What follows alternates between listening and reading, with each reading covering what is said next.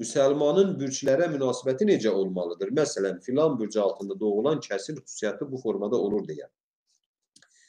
E, bu bir elmdir. E, bu bir elmdir. Müsəlman kəs e, bürclərə e, bürclərə yəni e, bürc gəldi, belə olacaq, bu bürc doğdu, elə olacaq. Yəni bürc falı deyirik da, bürc falı. Buna inanmaq küfürdür. Buna inanmaq küfürdür. Məsələn, indi onu astrologiya deyirsiniz, nə deyirsiniz? Bir də yaxır, məsələn, ulduz falı. Ulduz falı, hə, yazır, hə, bu bürcün altında doğulan belə olacaq, o batildir, küfürdür, buna inanmaq olmaz. Amma e, bir elm var, yani elmin bir növü olarak. Bəli, e, insanoğlu bu kosmik e, ve alemin bir hissesidir, bir varlık, yani bir üzvüdür. Ve bütün bunlar birbirine bağlıdırlar.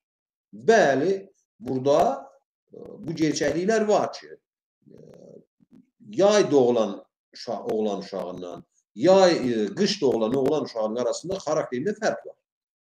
Bu, sabittir. Bunu da ola bilər ki, bir insanlar, ulduzlarla, falanlarla, hə, bu qüdrətə doğulanlar bu xarakterdə olur. Yəni o ümumi uzun müddətli təcrübə nəticəsində qazanılmış bir məlumatlardır. Yəni daima ulduz bürcü, yəni bürc, yəni məsələn o bürcdə, bu bürcdə doğulan insanların xarakterini, xüsusiyyətini, xəstəliklərini araşdırıblar təcrübə nəticəsində. Və müəyyən bir nəticələrə gəlir ki, ha, doğrudan da ki, məsələn, bu bürcdə olanların 99 e, faizi və yaxud 90 faiz, yəni əksəriyyəti, 85 e, faiz, indi Allah misallardan çəkirəm. Hə, bu xəstəliyə tutulur. Aha.